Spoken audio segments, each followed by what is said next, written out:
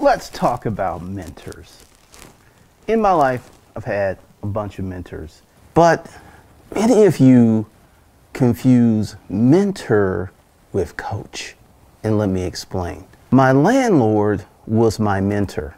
I met the man and talked to him 15, 18 times. The longest conversation that we ever had was roughly 20 minutes, maybe 25 tops. Most of the conversations was me handing him a rent check and we would chit chat for five, 10 minutes, sometimes 15. And he mentored me on many different things. A mentor says, hey, here's a suggestion, or hey, this is what I'm doing it, and this is how you do it. Many of you want a personal coach. A personal coach is like the O line coach or the D line coach in the NFL who is present, who walks you through drills, who walks you through plays. Many of you have confused the mentorship relationship with the coaching relationship because coaches get paid. Because coaches are hands on. They're working with you, they're putting stuff together, they're helping you with your training, they're helping you with your execution of your position, they're helping you do something, they're helping you with your diet, they're helping you with your workout. Coaches are hands on, physical, and present. Mentors could be a book, it could be a CD, it could be an old person. A mentor could be a child. But many of you want a coach, but you want to classify that as a mentorship, or the best of both worlds is an apprenticeship, where you're providing the mentor with something of value in return for the mentorship. One of the things that my mentor, my landlord, Mr. Advisor, did was school me and point me in the right direction because essentially I had to work. And I'll give you the first classification. I asked him about the building that I was renting, which I got in through a sublet. Then I needed more space. Then I went to him direct. I came in through Ted. And I was like, why don't you sell these businesses? And this is all he said. This was our first conversation. I can't sell them. They're in a trust. That's all he said. Nothing else. I can't sell them. They're in a trust. So this got me very curious. And I asked him another question. I said, How many buildings? And he said, because he was a Polish Jew with a very thick accent. And I think and I think he said 35. And then he got in his jag and he went off. So I went back to the warehouse, got on the Google machine, and I started looking up trust because before that point in time, I had heard of a trust, but I didn't understand what a trust meant. I thought that was something that rich people did. So I went to the Google machine and I started looking it up and I found out there was a revocable trust and there was an irrevocable trust. And based, and based on the information he gave me, he had an irrevocable trust. The check was written out to his son and daughters and written out to a trust. 30 buildings, then I went in and looked at some more. I realized that those 30 buildings had to be paid off to be in the trust. I was like, whoa, mind blown. At that moment, I got an education because I was mentored to in a five minute conversation. See, a mentorship relationship is you must pick up the ball and you must do a lot of work because the mentor's not getting paid. The mentor is not schooling you. The mentor is not holding your hand. That's a coach or an apprenticeship. Part of the mentor relationship is 90% on you. A mentor's like, here, here's a nugget of information. What are you going to do with it?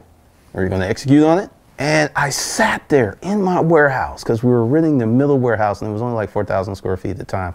And I was like, I got to get me a piece of this action. This is fantastic. But see, I met my mentor when I was on the highway.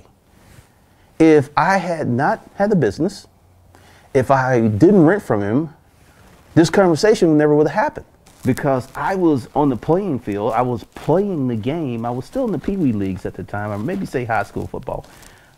I was junior leagues. And I'm talking to an NFL owner. And he's dropping game. But see, when someone drops game, you got one of the things that really happens that really skews people is we have a sense of entitlement. Many people feel entitled to the precious knowledge of those who've come before just simply because they want it. But this is how the mentor relationship works. A mentor will drop in your life when you're ready. That old saying, when the student is ready, the teacher will appear. And I've seen that time and time and time and again. When I was doing something, when I was on the precipice of that next big breakthrough and I was missing a few important ingredients, boom, someone drop out just like out of nowhere. Second time I talked to my mentor, my landlord. We're talking about money. And he said something very important. He said, when you run a company, you want to take the least amount of money possible out of the company. And we went a little deeper, and that's where I developed the philosophy. I've said it many times. I live on a percentage of my income. I don't live at 50%. I don't live at 60%. I don't live at 80%. I live on less than 7% of my income. Got from him because before him, I, I, thought I had good saving habits, but this was a, Polish, a Polish Jew who was a chemist and an engineer. So I took that lesson, I took that, picked up the ball, and I started to apply it to my life. And at that point, I immediately started to save 50, 60% of my income. Life changed. Life became like, whoa, money started stacking up like crazy. Because in my older videos, you hear me talk about, talk about work like an immigrant, but I've never said save like an immigrant. I was exposed to Polish Jews, a lot of Hispanics, a lot of Asians, and a lot of Indians, and we did business together we talked about things, and this is where many of my philosophies came from. This is why I am not a member of Hotep Nation or Pro Black Nation. And it isn't because these things are bad, it's because they're limiting because you only want to be in this circle. Indians, Asians, Russians, Jews will come outside of their circle. They'll keep their culture, but they'll come outside of their circle to get that money and bring it back in. And I was just amazed. Then another conversation we had was about competition. He actually started a machine company, and his designs were so innovative that people just threw money at him. This is why he was able to buy 35 warehouses and pay cash for them. He said cash flow is more important than market share. It's more important than ownership. Cash flow and he, you know, he didn't tell me. I didn't know all this stuff until I read his obituary. But because he lived on a fixed percent of his income, and this is one of the things that he also taught me. He said, I've lived on the same money for decades. But once again, because he did so well, he had created, what he lived on was very high. And, but in comparison to what he earned, it seemed really small. And that's something else I haven't shared with y'all my income or my standard of living has not drastically changed since 2009. Even when I was making all that money from my book sales, I was still living the same. I did not raise, I recently raised my standard of living two years ago from essentially $3,000 a month, because really I could have got about 1800 to around three. Now my standard of living is about seven. But I have money in the bank. I have good cash flow and I can do it. One of the big issues with you starting a business, you making moves, you making money, is you want to spend so much of the cash that your business can't grow. Your business can't explode. Another lesson I learned from my mentor he was very charitable. He gave away a lot of money. And he told me, he says, I don't give money to be a good guy. I give money so I can get money back. See, he understood the law of reciprocity in the universe. So as he was throwing money out there, money was coming back at him, which kind of negates the frugal, cheap millionaire status. This man gave away a building. Does that sound like a frugal or cheap person? No, that's very generous because money must circulate money must be moving. So he's like, he always kept money moving. You know, whenever he got to a certain amount, he bought another building because his standard of living never changed. Another thing I learned from um, my millionaire landlord mentor enjoy life. He loved what he did. And I really, re- that lesson became reinforced when I almost died. This is why, you know, I ended the other channel because it was no longer fun. Why do something that's not fun? Why do that? That makes no sense. And there was a few other lessons that came to me from just being around him and having conversations. I would think if I had to add it up, we may have talked two to three hours over those 15 to 18 conversations. That's it. That's it. He did not sit me down. He did not spoon feed me. He actually gave me high level advice that I had to take action on. One of the things, and th- this is another thing that why I'm getting into real estate again, but on a different level, is because of the, I saw how he lived. I remember one time I had to go to his house to drop off the rent check. And his wife, oh yeah, you're gonna love this lesson. You're really gonna love this lesson. And his wife came out and I went in and I talked to him and stuff. He had a very nice house. I didn't know what this house was worth until recently because I looked it up. He lived in that house for about 40 years. It was a part of North Decatur that was up and coming, Toco Hills area.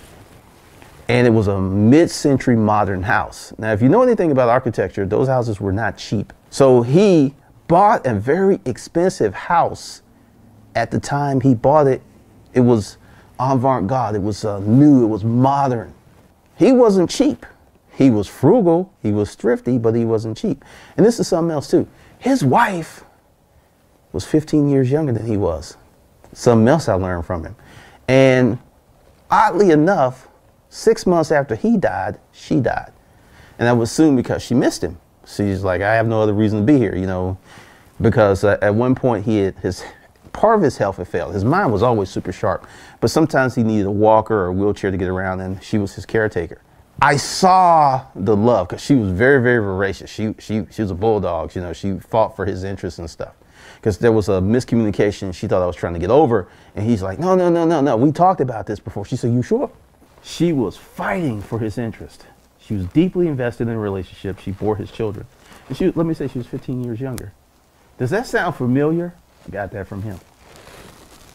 One of the things that you have to understand is this man, like if you go to Mountain Industrial Tucker, there was another immigrant in that area, and they pretty much developed that whole corridor.